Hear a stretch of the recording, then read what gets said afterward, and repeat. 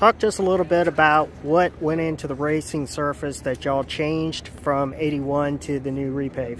So we, we tried to uh, look at, you know, naturally with Atlanta in the last few repaves we've done, we really tried to tackle how do we get a old surface on a new repave. Naturally, all that you've got going on today and the way that you actually put in race tracks, the way you pave, the, the pavement process itself, it's hard to achieve that right out of the box. So we got a little bit more aggressive on the mix design.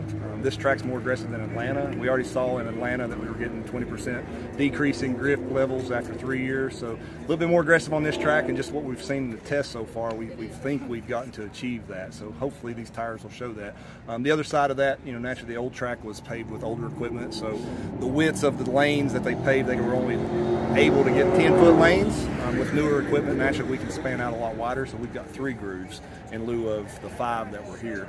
With that, you know, it's changed the racing line. We've seen that in practice. Um, you know, naturally after we saw the All-Star last year with Kyle Larson kind of finding his own groove, we think we've moved him up the track, so hopefully it'll, it'll create some more side-by-side racing and be pretty entertaining to watch. How long do you think it'll take this racing surface to cure totally in and be somewhere that you feel where the old racing surface was? Yeah, I mean, you know, naturally the old track was 30 years old, so it's, it's going to be tough to get back to that point. But I mean, right out of the, the bat, what we saw from what Goodyear tested last year after we repaved in November to what they saw when they came back, we'd already lost 8% grip, which is huge in just a, a, short time frame or a few months instead of years. I, I really think in two years, max, maybe three at the tops, you'll see this track really come back and start wearing tires like it used to.